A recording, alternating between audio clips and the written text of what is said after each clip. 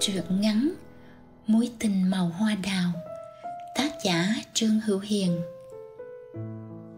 Mayumi dõi mắt, nhìn về phía hướng phi trường. Hướng có bầu trời trong xanh Và những chiếc phi cơ đang thay nhau cất cánh. Ánh nắng ban mai làm mắt nàng cứ phải cố nheo lại khi ngước nhìn. Nàng ngồi lặng lẽ trước hiên nhà như vậy, Từ sáng sớm tới giờ chỉ với một mục đích duy nhất là đếm từng chuyến bay và nhẩm đoán xem trong đó chuyến nào đang mang theo người đàn ông của nàng. Người mà mới đêm qua thôi, chỉ vài giờ trước đây thôi, đã nói với nàng lời giả biệt. Những ngón tay đang vẫn còn đầy hơi ấm, và nồng nàn còn nguyên trên tóc, trên môi. Minh sẽ là một trong những hành khách trên chuyến bay hơn cả ngàn cây số Okinawa, Tokyo sáng hôm nay. Minh, người đàn ông mà hơn hai năm qua đã cho nàng những xôn xao rung cảm chưa từng có, đã làm trái tim nàng tan chảy trong tận cùng yêu thương. Vậy mà, bây giờ người đàn ông ấy sắp rời khỏi nơi đây, chấm dứt hơn hai năm gần gũi hẹn hò Nghĩ như vậy làm lòng Mayumi chết điếng. Những giọt nước mắt cứ trực chờ rơi. Xa xăm nghe như có tiếng sóng vỗ vọng lại chập trùng. Bên kia ngọn đồi nhìn ra hướng biển, vài con chim hải âu lẻ bầy vỗ cánh bay xa dần, xa tít dần, chỉ còn lại những vệt xám nhỏ nhoi mất hút cuối chân trời mình đến với nàng như là một sắp đặt của định mệnh. Tình cờ trong muôn ngàn thứ tình cờ khó giải thích được trên đời này. Không phải là định mệnh sao được, khi người đàn ông này bỗng dưng từ đâu xuất hiện ở một nơi xa xôi như hải đảo okinawa này. Người thanh niên trạc tuổi mayumi vừa đến từ một đất nước tận phương nam mà nàng chỉ vài lần nghe thoáng qua. Một địa danh gắn liền với triền miên chiến tranh. Việt nam, trong hiểu biết của mayumi, chỉ là vùng đất của bom đạn chết chóc qua những bản tin truyền thông hàng ngày. Cho đến mãi sau này, khi gặp minh, nàng mới biết thêm về đất nước của chàng.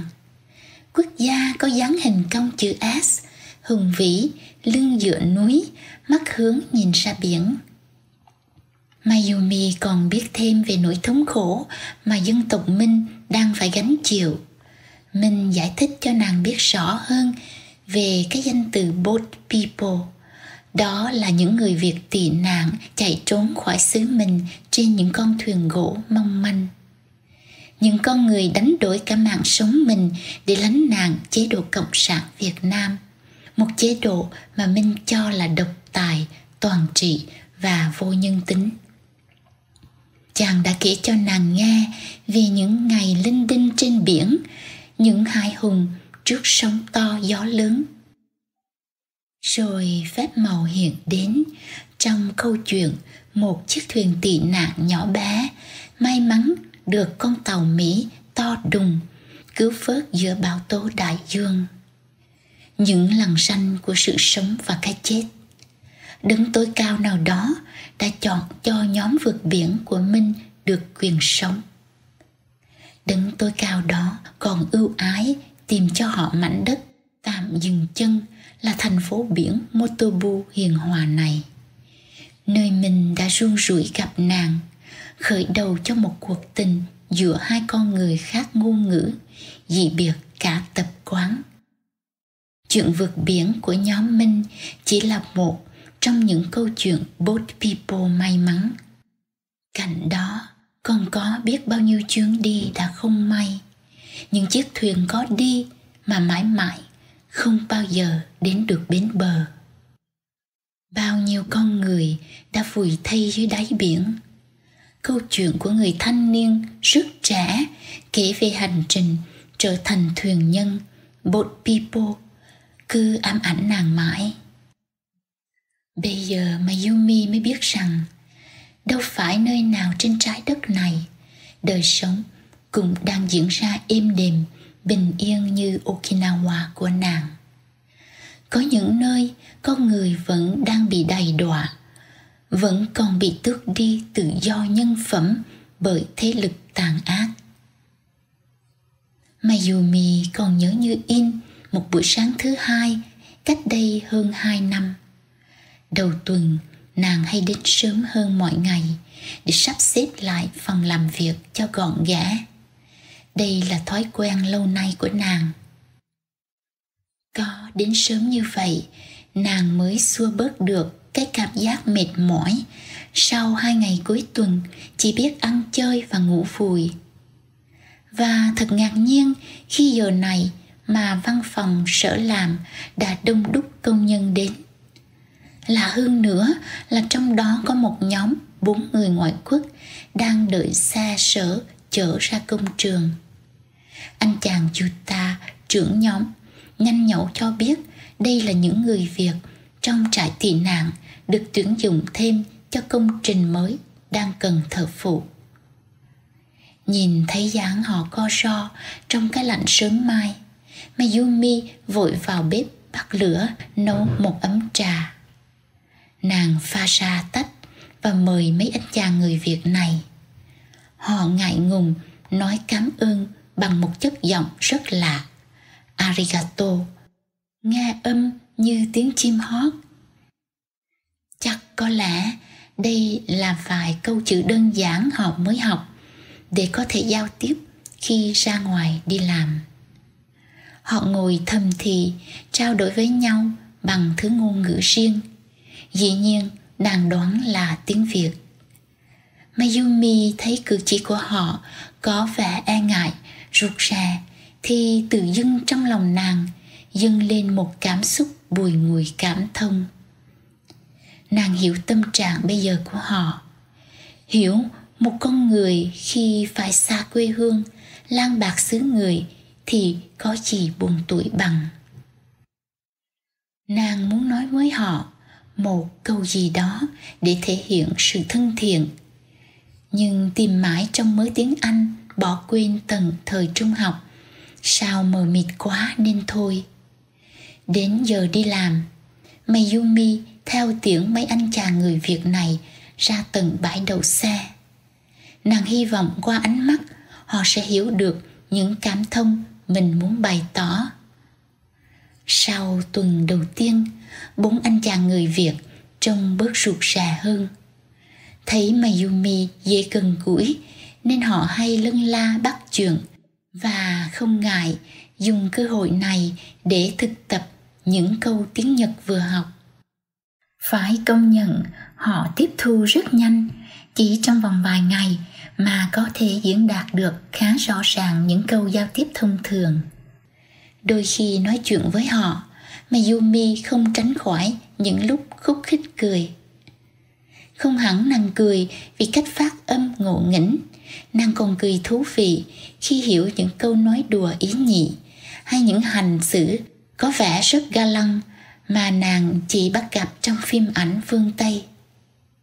Họ trông khác với những thanh niên địa phương mà nàng từng quen từ khi còn đi học cho đến bây giờ đi làm. Trong nhóm bốn chàng người Việt này, hình như ba anh đã lập gia đình. Riêng một anh tên Minh còn độc thân. Anh này hay bắt chuyện với nàng nhất. Từ lúc có họ trong sở làm, Mayumi dường như thấy công việc vui hơn, không còn nhàm chán như lúc trước. Sáng nào nàng cũng đến sớm một chút để có dịp gặp gỡ. Một hôm, Mayumi đang sửa soạn ra về thì sếp của sở đến gần và nói muốn nhờ nàng một việc. Vì nhà nàng ở khá gần trại tị nạn Motobu nên sếp muốn nàng thay ông ta mỗi buổi sáng đến đón và chiều thì đưa mấy anh chàng người Việt về lại trại. Thấy không trở ngại gì nên Mayumi nhận lời ngay. Vậy là bắt đầu từ sau hôm ấy, Mỗi sáng Mayumi thay vì quẹo phải đến sở, nàng lại rẽ trái lái về hướng làng Toyohara. Vừa đến cái ngã tư có cột đèn báo giao thông, nàng rẽ trái lần nữa. Leo lên con dốc vắng vẻ hai bên đường ngập cỏ dài. Khi gặp một trạm taxi, nhìn sang phải sẽ thấy ngay cổng vào trại tị nạn của Hồng Thập Tự Nhật Bản. Hơn hai năm đi về trên khoảng đường này, nàng đã quá quen thuộc để bây giờ nhắm mắt Mayumi cũng hình dung được con dốc thoi thoải lên đồi. Cái khuôn viên trại thật rộng. Vừa bước vào cổng trại là gặp ngay bãi đậu xe cạnh hàng rào. Rồi những bậc tam cấp bằng xi măng dẫn lên mấy dãy nhà chung cư hơi cũ màu vàng nhạt. Bên trong trại, nàng thường thấy vài người nói cười đi lại.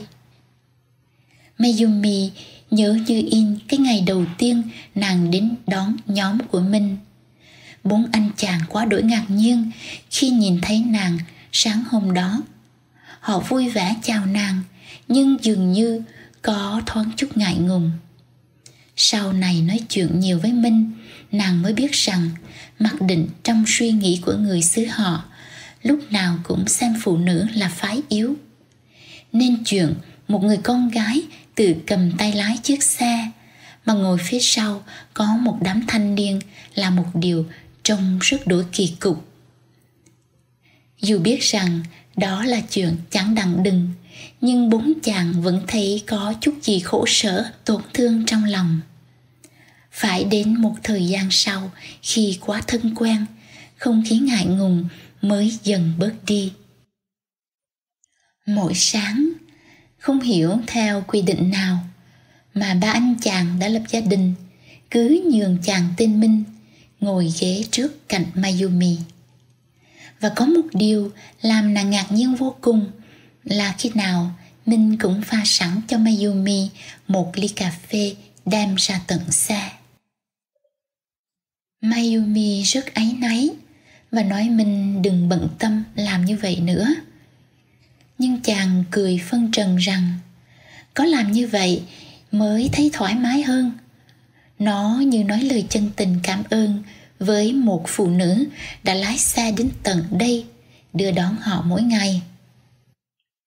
Cách hành xử của minh và ba người bạn làm nàng cảm động vô vàng. Nàng không dối lòng, là mỗi sáng tâm trạng cứ nôn nao trông đến trại gặp minh, gặp họ. Có chút gì đó gần gũi, cảm mến dâng lên trong lòng nàng để ngày cuối tuần, vắng những câu nói đó. Vắng ánh nhìn của minh, lại thấy nhớ. Nàng nhớ con đường lên ngọn đồi yotohara. Nhớ nắng ban mai chiếu sáng lung linh từng ngọn cỏ, cành cây ven đường. Và không biết từ bao giờ, những gặp gỡ giữa minh và nàng trở thành thứ tình cảm hơn cả thân quen. Có lẽ từ một buổi chiều cuối tuần, sau khi đưa cả nhóm về trại, và minh ngỏ lời muốn đưa mayumi đi ăn tối. Chàng nói vừa lãnh lương tháng này, nên muốn có chút gì để trả ơn nàng. Ăn tối xong, cả hai chưa muốn về vội, nên ghé một quán cà phê ven bờ biển ngồi nói chuyện. Và giữa khung cảnh thơ mộng của biển trời, cộng với những lời nói ánh mắt ấm áp ấy, thì làm sao nàng không đổ cho được? Bóng đêm che dùm những nụ hôn và phiêu lưu đưa đẩy một cuộc tình. Mayumi lao vào đó bằng tất cả những rung cảm chân thành.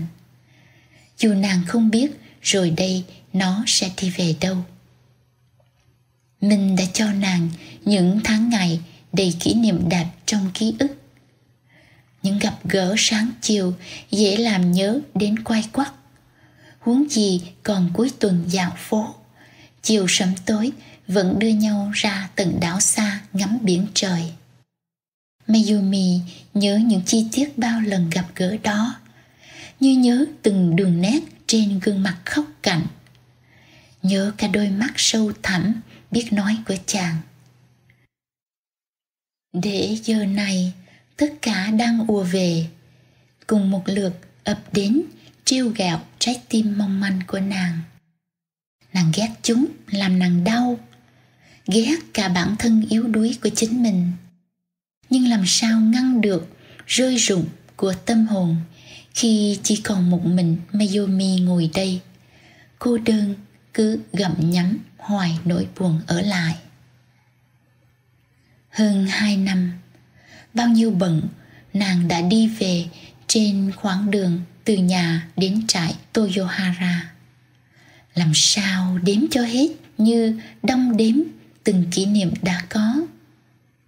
Mayumi nhớ những ngày cuối tháng, nàng lấy xe đưa Minh đi chơi tận Kosa, Naha và tiện thể mua những món đồ cần thiết gửi về cho gia đình chàng ở Việt Nam. Nhìn chàng tỉ mỉ xăm soi những chiếc áo cái quần hay cả dàn máy stereo làm nàng cảm động, thương vô cùng. Cái tình cảm của Minh, của những người tị nạn đối với gia đình còn bên kia ban đầu làm nàng ngạc nhiên quá đổi. Mayumi thắc mắc thì được Minh giải thích phong tục của người Việt rất quan trọng tình gia đình. Những món quà chàng gửi về quê nhà, không những để giúp người thân qua khốn khó, mà chúng còn làm cho chàng cảm thấy mình như vẫn còn gần gũi bên họ. Những manh áo, tấm quần, sợi chỉ kim may như là vật trung gian giữa bên này và bên kia, chạm tay vào chúng, làm chàng vơi bớt nỗi nhớ nhà. Những lần đi mua sắm với minh nhìn khuôn mặt chàng hớn hở rồi nghĩ đến ý nghĩa trong từng thùng quà gửi về bên ấy. Tự dưng lòng nàng cũng tràn ngập niềm vui. Hai mùa hoa anh đào có minh đến bây giờ vẫn là hai mùa xuân đẹp nhất đời nàng. Làm sao mà Yumi quên được những lần Minh nắm tay nàng đi dưới những cành hoa mỏng manh sắc trắng, sắc hồng, tinh khôi mùa cháy hội. Trong tiếng đàn Sanshin, điệu múa dân gian, từng nhóm người tụ tập, ca hát dưới những tàn anh đào rợp bóng. Khung cảnh như giữa chốn thần tiên khiến tâm hồn nàng nao nao niềm hạnh phúc. Dù vậy, mỗi lúc ấy sao Mayumi vẫn thấy có một chút gì đó không trọn vẹn trong ánh mắt chàng. Mình nói với nàng rằng mùa hoa anh đào Okinawa nở rất gần thời điểm Tết Nguyên Đán nơi quê nhà chàng, trùng vào khoảng giữa tháng 2 dương lịch. Nhìn những cành hoa đào nơi đây, làm chàng nhớ đến những cánh hoa mai nở rộ ngày Tết. Nhớ thổi còn bé, cứ mong sao Tết đến để có tiền lì xì, để được ăn bánh mứt thỏa thích. Tất cả những kỷ niệm tuổi thơ ấy bây giờ đã quá xa. Biết bao giờ chàng mới gặp lại. Cánh hoa anh đào thường được người dân Nhật xem là biểu tượng cho lẽ vô thường của vạn vật. Có đó, rồi vội tan biến đi. Những cánh hoa mong manh vừa mới nở rộ khoe sắc, chợt tàn rụng dưới một cơn mưa hay chỉ cần một làn gió vô tình thổi qua. Mayumi thầm nghĩ tình yêu của Minh và nàng cũng vậy. Cũng chỉ là một tình cờ nhỏ nhoi trong vô thường đất trời. Chợt đến, rồi chợt đi. Như những chuyến bay phía xa kia, lần lượt cất cánh lên bầu trời. Thoáng chốc, thanh âm vọng lại, chỉ còn là thinh lặng. Rồi đây, những lần lái xe trên dốc đồi Toyohara những buổi sáng ngóng đợi, người đàn ông tươi cười, mang cho nàng ly cà phê thật ấm. Sẽ chỉ còn là hoài niệm. Nàng buồn tiếc nuối. Nàng muốn ngồi mãi đây một mình, lặng lẽ đợi một chuyến bay. Dù biết thật, nó đã rời xa. Rồi không làm sao ngăn được những giọt nước mắt. Nàng cứ để mặc chúng rơi xuống má mayumi thầm thì hát một đoạn nhạc mình ưa thích trong utsukushi Mukashi. Ca khúc mà Minh cho nàng biết là được chuyển lời từ diễm xưa, nhạc Việt. Utsukushi Mukashi nát đạp của ngày xưa giờ đây mối tình của nàng đã thuộc về hôm qua 今は地の果てに愛を持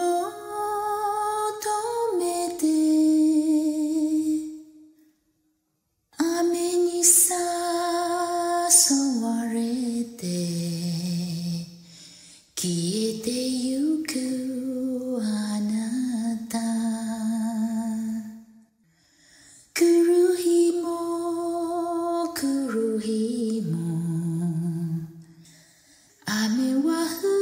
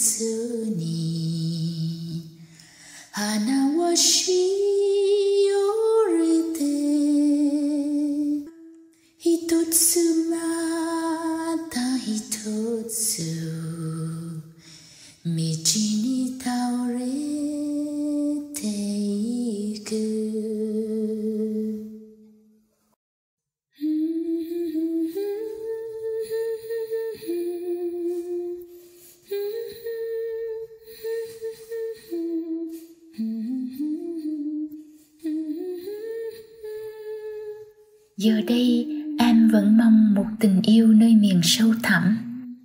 Nơi anh sẽ theo những cơn mưa và tan biến đi. Sao mưa vẫn rơi rơi hoài, rơi mãi từng ngày qua? Mưa trên mái chùa và trên con đường dài vô tận, cho cánh hoa anh đào héo tàn.